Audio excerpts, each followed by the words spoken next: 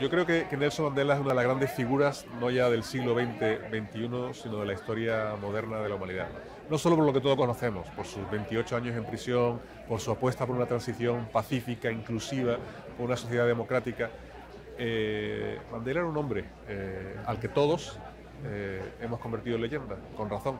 Pero era un hombre, tenía también sus defectos, sus falencias, como, como todos los hombres. Por ejemplo, él mismo reconoció que no había hecho suficiente eh, para demostrar con claridad que había que luchar desde el gobierno, la sociedad, contra la pandemia del SIDA. Hasta ahí él fue un genio, en reconocer que el Estado, que él mismo había dirigido, tenía que hacer más.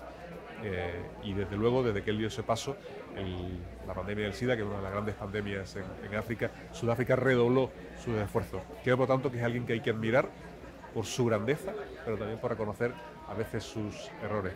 Pasar 28 años privado de libertad, enterarte allí del fallecimiento de tus padres y cuando sales eh, dialogar con lo que te has encerrado y construir una sociedad abierta y democrática no lo hace cualquiera, él lo hizo, por eso creo que este libro, como tantos otros, un enorme reconocimiento a su figura, a su leyenda, pero también a Nelson Mandela como hombre.